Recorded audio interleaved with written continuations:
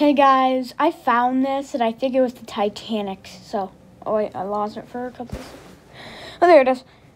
Yep, you see that thing right there? Yeah, they they say that is the Titanic, and I believe it too because look at that.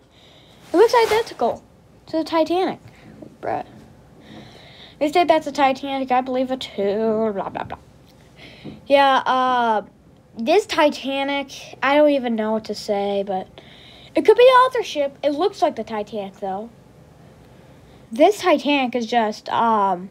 Yeah, let's just make it 2D. Yeah, it looks like it's all flat, like it's supposed to be, but now the other boats are flat. Great. Um, but yeah, this is really cool.